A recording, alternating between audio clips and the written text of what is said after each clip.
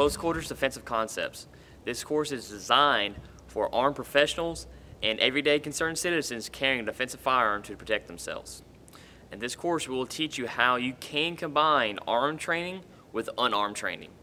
We'll teach you how to utilize your firearm within one arm's reach, how to defend yourself from the two most common knife attacks, how to get up off the ground, how to use your firearm if you have to when you're on the ground, and much more.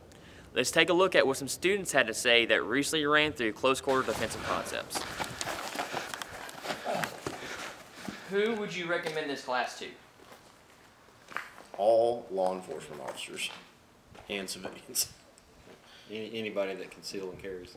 Yeah. Pretty much, yeah. I about- Absolutely. About to say.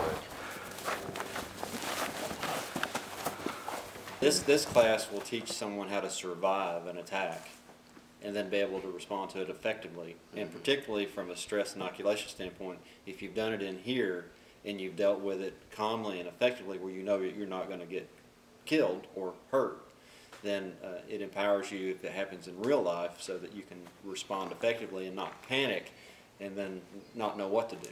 Because people freeze when they panic. Keep turning, keep that knee into. Put knee on belly, knee on belly. Control the knife, control the knife, control the knife.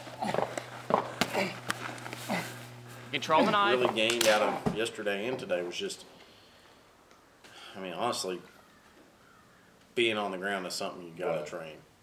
You gotta train it. That's the number one thing. I mean, that's the worst position. I, I, you know, you say, yeah, this is the position nobody wants to be in until you actually in the ground. You figure out this is really the worst position to be in.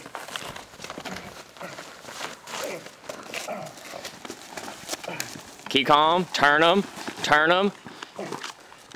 Well, I think that the technique to, to roll and get the knee in, to get the space and, and create the distance, particularly pinning the weapon and then being able to fire, that's, that's a, uh, a- a technique that, that you've got to learn. Particularly if somebody gets in and they bum rush you, you know, the chances are you're not going to be able to respond the way that you want to. Probably not going to.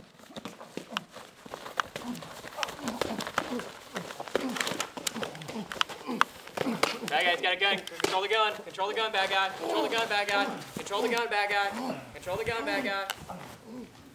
I thoroughly enjoyed it. It Yeah. was eye-opening and uh, I feel empowered hours. by it. So even, even with the training that I've had with jujitsu and, You- you and do crawl, crawl now, yeah. I still feel, I feel more empowered.